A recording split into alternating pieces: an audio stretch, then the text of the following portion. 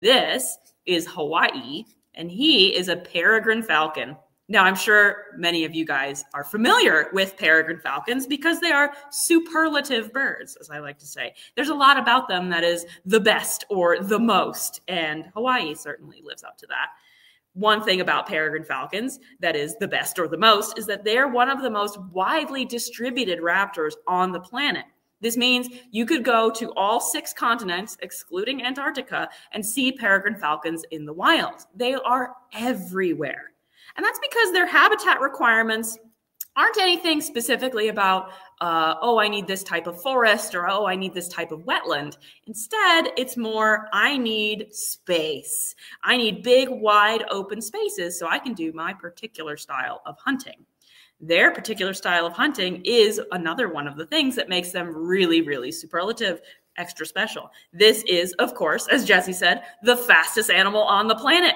Not Hawaii as an individual, but his species are renowned for the high speeds at which they can dive to catch their prey. Unlike our broadwing hawk, who's more of an ambush predator, more of a sit and wait till something comes too close and then grab it kind of guy, peregrine falcons, like the other falcons in their family, are much more active predators. So they tend to fly out and seek out something that's in the air with them. Now, for a peregrine like him, it could be a flock of pigeons, for example, or a flock of starlings, some other sort of cliff nesting bird, as peregrine falcons do find themselves nesting on cliffs or sheer structures. Buddy, oh no. This is what happens when the Pez dispenser runs out. We'll see how we do. so they're traveling along looking for these large flocks of birds. And when they find one, what they're going to do is fly on top of it, get above the flock of birds, and then leap down, dive down into the fray, folding their wings in close to their bodies so that they look kind of like a torpedo and just drop like a stone.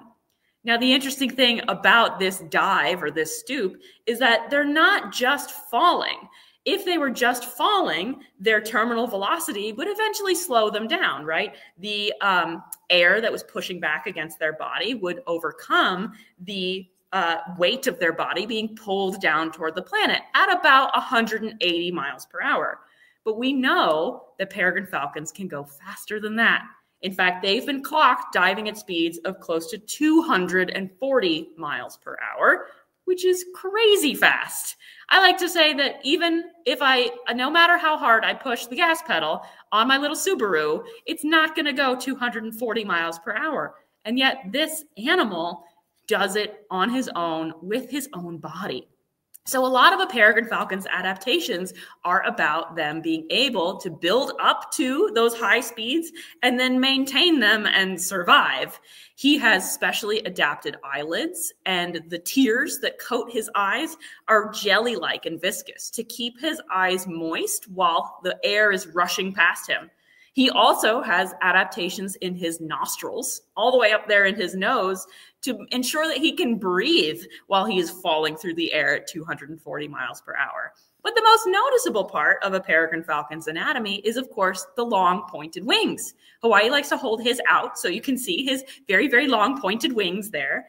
And those are really the wings of a jet fighter. Those are the wings of an animal that's capable of slipping in and out between gusts and eddies, of making quick, tight turns on a dime, adapting to how fast its prey is moving around him.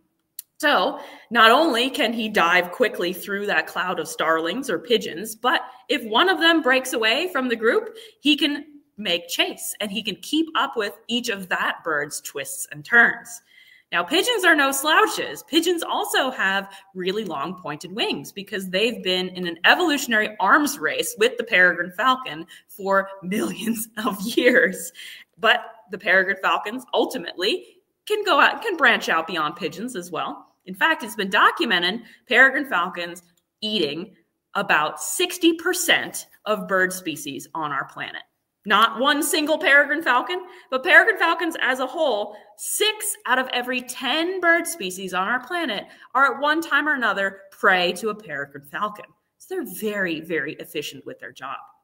Now, I got to say, the last kind of superlative thing about the peregrine falcon is that they're one of our greatest conservation success stories One thing that happened to the peregrines almost 50 years ago now is that they nearly went extinct in the eastern half of the United States. Back then, we were using a pesticide chemical called DDT, spraying it around on our crops to keep the bugs off of our crops, but it found its way up the food chain and into the peregrine falcons. It caused them to not be able to lay eggs that were healthy. And so there were no new baby peregrines joining the population for many decades. Fortunately, people noticed this. This very charismatic bird was slowly, slowly going extinct. And they banded together with falconers, other people who cared about uh, the fate of the peregrine falcon, to breed these birds in captivity, to reintroduce them to the wild. And it's been a great success. Here in Vermont, we have about 45 or 50 breeding pairs of peregrine falcons, where in 1989, there was one. So it's been a tremendous success. Now, Hawaii himself is not from Vermont, he's from Hawaii. And he is probably one of only a handful of peregrine falcons that have ever been to Hawaii. Much like our broadwing hawk, these birds do not often cross open water, much less the entirety of the Pacific Ocean. In addition, Hawaii is also a um, uh, subspecies of peregrine falcon that we know breeds in the Arctic tundra. His story, so far as we know, was that he was born in northern Alaska.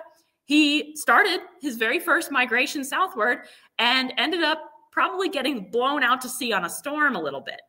He probably wasn't blown as far as the Hawaiian Islands. What we think happened, because this happens with other birds that you see sometimes on the news, is that he caught a ride on a tanker ship, perhaps, that was going to Honolulu.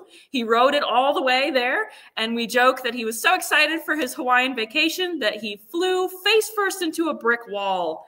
That was where he was found by the kind person who brought him to the veterinarians at the Honolulu Zoo, where they discovered that he had broken off the top part of his beak you might have noticed he has a little bulldog kind of face. Um, and that is because when he was a young bird, he broke his beak flying into a wall.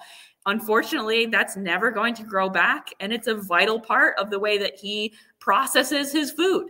He can catch a pigeon, no problem. But if he can't tear it up into bite sized pieces, he's not got anything to eat. So he became an education ambassador and he joined our team uh, in 2017. This year, though, he is 17 years old, which is kind of up there for a peregrine falcon. So we're so glad to have him as part of our team.